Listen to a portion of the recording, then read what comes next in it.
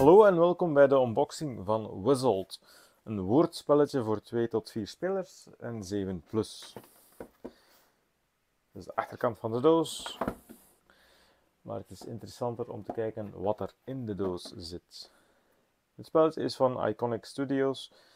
Een vrij recent uh, bedrijf dat uh, woordspellen maakt van allerlei soorten.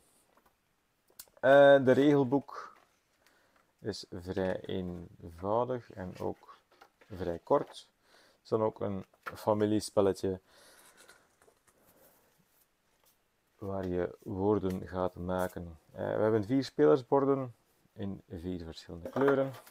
We hebben nog een scoreboekje uh, met voldoende papiertjes.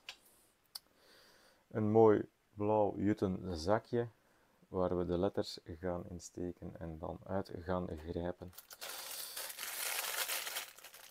Een zakje met uh, letters, uh, die ga ik nog niet open doen, want het zijn gewoon letters. En dan een zakje met muntjes in twee verschillende kleuren, dus blauw en doorzichtig geel. En dan hebben we nog voor iedere speler een houder voor de letters in te plaatsen. Zo, dit was onze unboxing van Wuzzled.